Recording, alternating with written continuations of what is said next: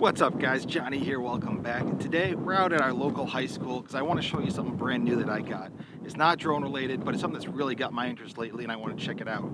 Um, since the end of the, the racing season, I actually got really interested in one wheels. Uh, we had a couple pilots that had one wheels, they brought them out to the field, and towards the end of the season I found myself thinking, you know, at each race, like, man, I hope uh, Jay Camera brings his one wheel. I might be able to get a minute on there and try, you know, flying around.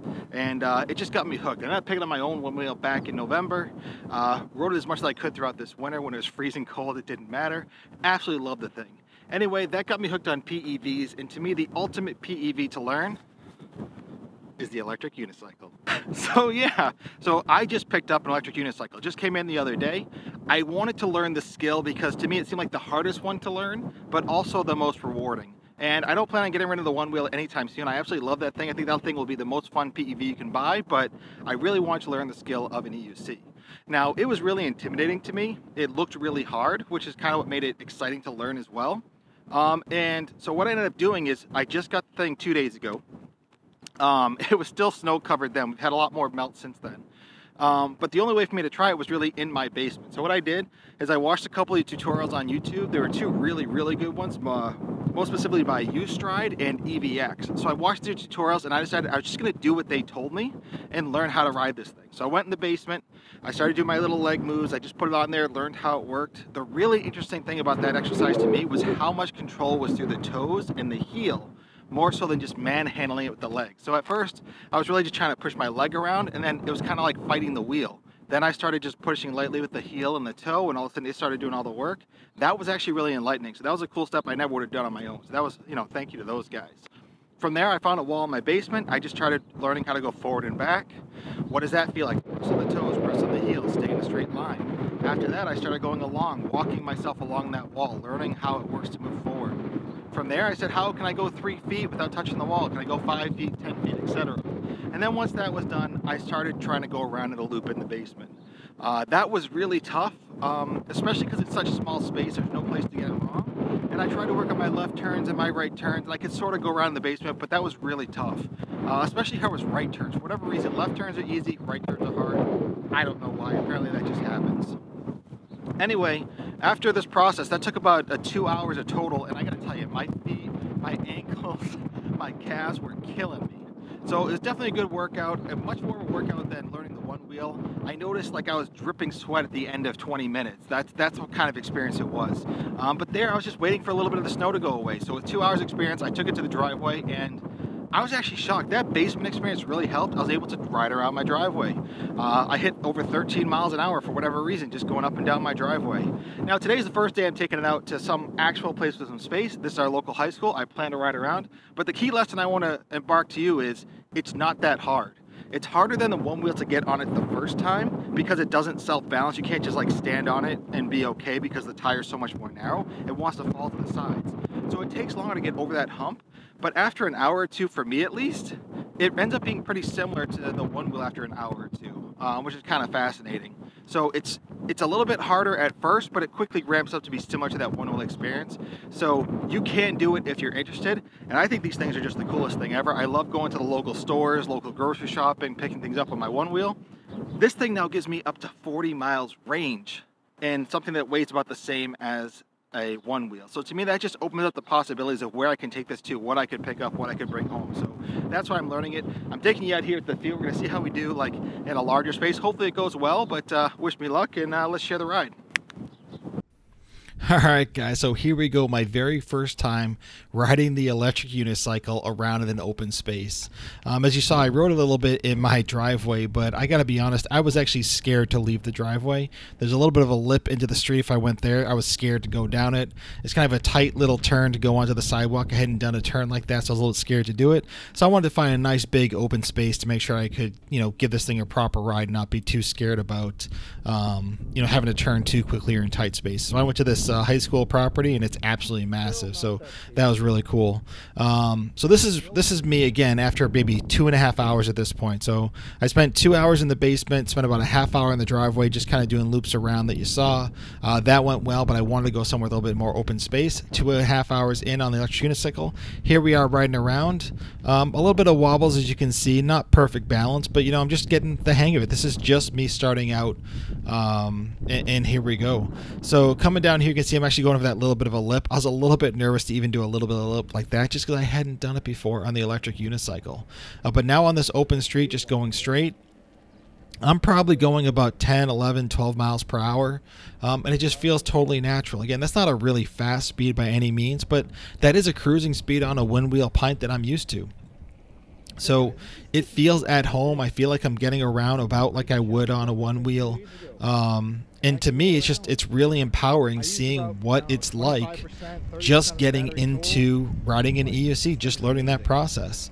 Uh, the really big thing to me to point out is really that I was intimidated by the EUC to start. I had seen so many videos online talking about how difficult it was to ride the EUC. And for that first hour, it was absolutely true. It was the case. The big thing with the one wheel is you can stand on it, level it out, and just stand there and learn to balance without having to worry about going forward. When you get on an EUC, if you try to just get on and stand still, you just can't do it. It will fall over. It's extremely hard to stand still with it. So, therefore, in order to learn how to balance it left and right, you have to also be going forward, and that's intimidating. That's what makes it hard for that first hour. So, using the tools that we learned through the U-Stride and the EVX video, learning how to kind of use a wall or another obstacle to keep yourself upright, and then learn to start moving while also balancing left and right, that's really what got me over the hump to learn how to do it from there.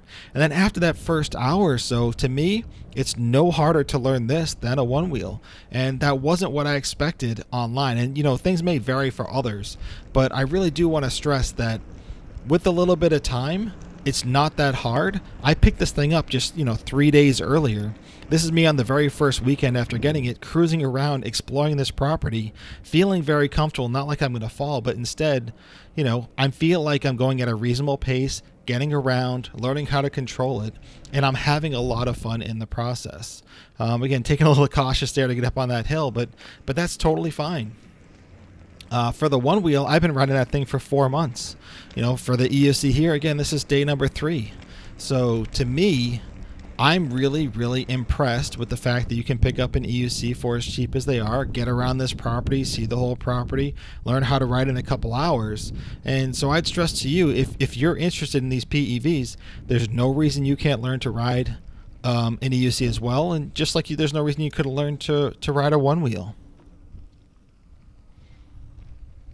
Uh, one thing I'll point out too is you see all these like little cracks in the road as you're going over them. What kind of caught me by surprise with the EUC was that even though this is a small EUC and it's a 16 inch tire, it really soaks up all the little cracks in the road. You do not even really feel them as you ride. I know riding my one wheel, I would probably be feeling these thud, thud, thud each time I go over them.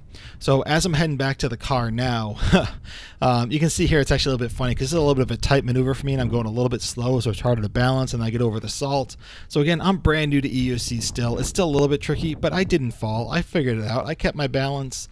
It got a little awkward, but I still made it over the car just fine. And for my first, you know, two and a half, three hours of riding, I'm perfectly happy with that. Um, as you can see on the total trip, I hit a max of 16.1 miles per hour. I had an average speed of 10.2 miles per hour. Um, you know, not record setting by any means, but totally comfortable for getting around. Now you can see I did actually bring my one wheel pint with me. I was curious now the first time I had ridden this area with the EUC, I wanted to see what it'd feel like with the pint. I was just talking about how riding over these uh, concrete um, cracks in the road, you feel like you don't feel anything when you're riding the EUC. But when you're riding the one wheel, you know, I assume there'd be this thud, thud, thud sort of feeling. Um, and that was absolutely the case, at least with the one wheel pint. It's a bit of a smaller, harder tire. And so whenever you go over thuds and small things, you just feel them in your feet. You feel them as you go. And it's nice from a feeling the road perspective, but it's definitely not as comfortable. You can see it here. You can just see like a little drop each time it goes over each one, like thud, thud, thud. And over time, that stuff kind of adds up. Um, and I was really surprised that just how well the EUC, um, even with the small 16 inch tire, like I said, really eased these things up and how comfortable it made cruising around this property as compared to the one wheel. Now, as I'm riding the one wheel on the property, I, I, did check it later. I know it was a little bit faster. Uh, you can see the speed bump I go over there. I'm definitely more comfortable going over speed bump with the one wheel. I had actually tried that earlier with the EUC, and it was pretty scary. Um, I made it over it, but it was a bit of an adventure. Um, feel definitely more comfortable on the one wheel, but again, this is four months into the one wheel. This is my third day, three total hours riding the EUC. Love riding the one wheel, absolutely. Um, I probably rode 12 miles per hour average on the one wheel, 10 miles per hour average on the EUC. But either way, I can get around the whole property in either one. And for how little time of that EUC, that just told me everything I needed to know. Now you can see I had so much fun riding the EUC around. I got to the end of the day and I had a chance to get out again and go to a local park and I took that opportunity and I went out there. And just every single ride I'm taking, I just feel a little bit more confident. I'm going around the small path here. I feel totally confident I can make every turn. I can brake if I need to. I can carve as you're seeing going around this uh, this park here feeling much much more comfortable again given that i just did the probably 45 minutes 11 miles at the school i had done the the practice in the basement uh, this is probably three and a half hours in and here i am going through the park feeling totally comfortable i think i'm traveling a little bit faster now probably averaging 11 12 miles per hour um, I think I hit a top speed of 18 miles per hour in this different run. Um, you can see here I'm actually going up a hill. It doesn't really look like it on camera, but you know, this is a weaker, smaller EUC, but even then, it has more power than the one wheel. It eats up this hill no problem. It's just a whole different feeling to me, and I'm really, really enjoying that freedom of exploration that I'm getting with the EUC. I probably enjoy riding the one wheel more still. It's more fun, more maneuverable, and other things like that, but the EUC is really, really rewarding. Um, the other thing for me too is when I grew up, I did a lot of skiing. I absolutely love skiing. And riding the EUC for me has a lot of that skiing sensation, that feeling. Uh, one thing that I learned with the e- with the one wheel was to always make sure to bend your knees because your legs act as a shock absorber. So if you hit any bumps on the road, your legs will bounce a little bit, keep you planted on the board, keep you planted on the EUC. And when you're learning to ski, it's, it's very much similar. You're always having your knees bent, you're absorbing the changes in the terrain with your legs, and you're doing the same thing here. You get that burn in the legs, that burn feeling, that sensation. I really miss that from skiing a lot. And now I feel like I'm skiing outside, you know, on the concrete in all sorts of different locations. Even though I live in, you know, Michigan now and uh, without the mountains and such, it's still a great way to get that sort of sensation. And as you can see, again, little you know things in the road i'm not worried about them at all. I feel comfortable. I can just go around them i can turn left when needed. Feeling totally comfortable in this thing three and a half hours in and i really want to stress to you you know it is a lot of fun. If you're interested in eucs or even one wheels there's no reason why you can't learn it with a little bit of work. You know try the same guys that i followed. Follow them yourself you can learn it and you can start having fun. Don't be intimidated. That's what I really tell you. And anyway, I just wanted to share this with you. Hopefully, you guys like this and uh, found it helpful, and enjoyed it.